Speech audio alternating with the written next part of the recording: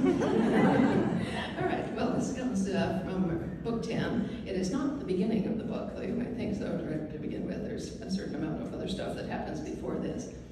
But uh, this is where you may remember, those of you who have read Book 9, and I assume most of you have, that it ended with um, uh, Jamie's illegitimate son, William, coming to his door to ask him for help in rescuing Lord John, Willie's adoptive father, and uh, uh, very dear to him, who has been uh, kidnapped and is being held on shipboard somewhere. They don't, don't know, he doesn't know where. He doesn't have anyone else who could possibly help him. So in spite of the fact that he deeply resents being, as he puts it, the gat of a Scottish criminal, and, and also deplores having been lied to for his entire life, and therefore not all that fond of Mr. Fraser or his father, other father at the moment, he still really wants to rescue Lord John, and Jamie Fraser is probably the only one who can help.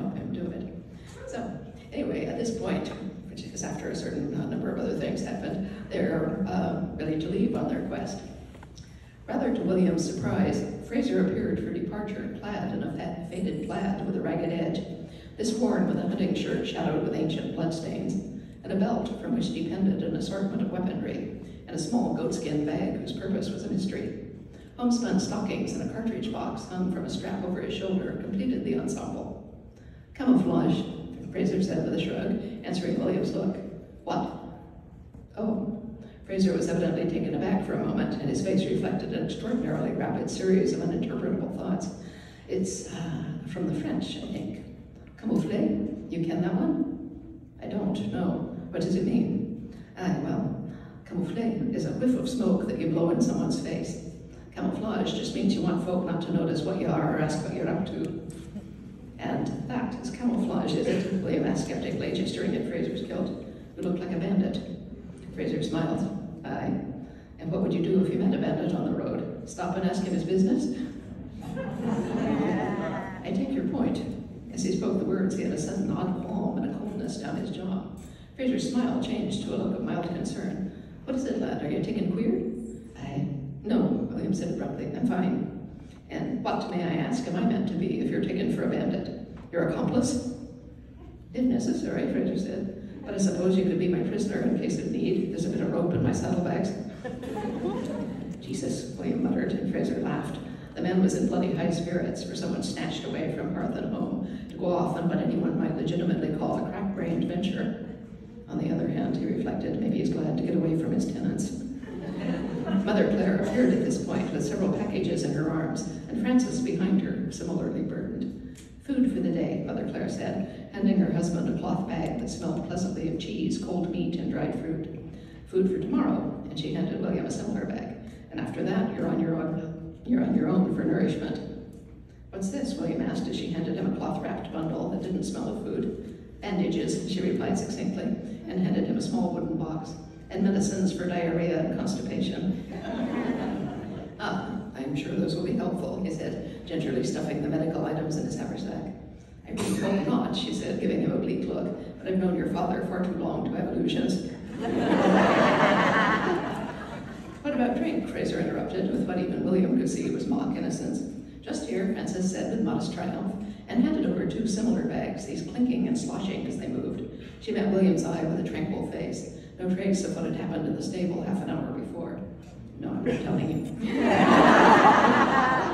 the palm fluttered through him once again, but this time he knew what it was. Jane, standing just behind his shoulder.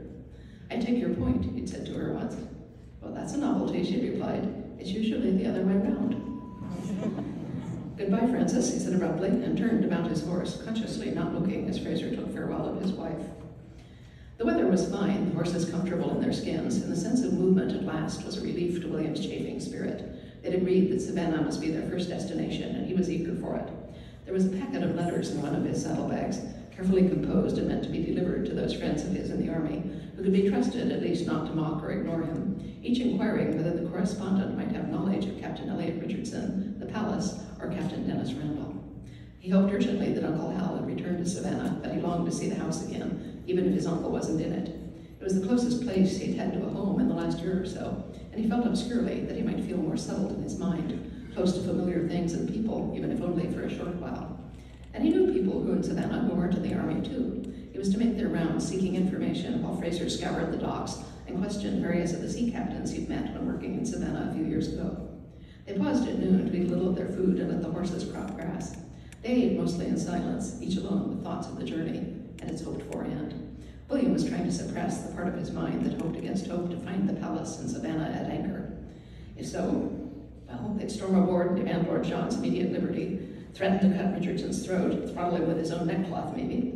He touched the reassuring weight of the long-handled Highland pistol in his belt, suitable, as Fraser had told him, for use as either firearm or club.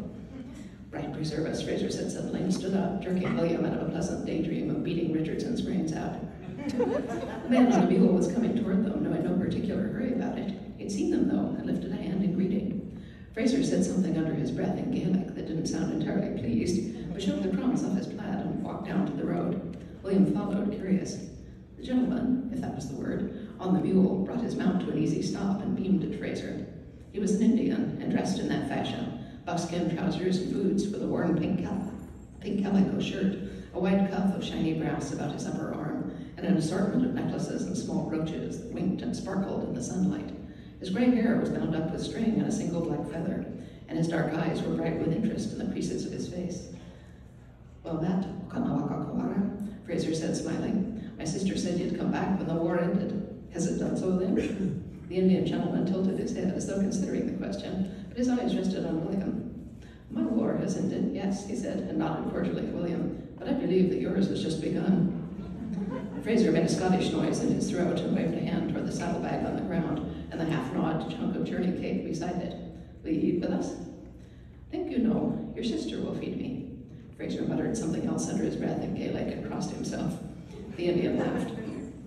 My pardon, Fraser said with a brief bow, brief bow toward the Indian and a nod to William. This is my son, William. William, this is Nakanakakawara, erstwhile sachem to the people of Joseph Brant, whom you may know. I have indeed heard of the gentleman, William said, and bowed respectfully, wondering what the hell a sachem was and why he should have relations of whatever nature with Fraser's sister, who was a kind but redoubtable woman. You're welcome at the ridge, Fraser said, and one side of his mouth turned up, but I suppose you ken that already.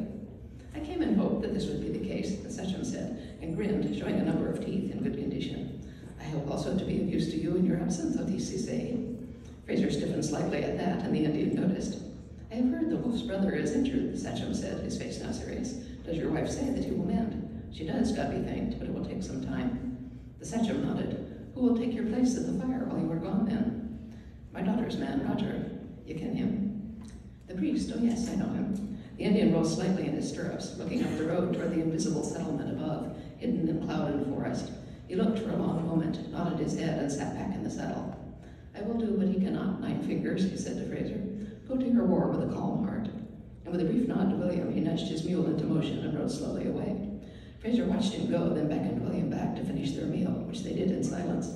William had questions, lots of them, but he could see that Fraser wanted to think. What did the um, sachem mean? William asked carefully a little later as they turned out onto the road. What can he do that the Reverend MacKenzie can't?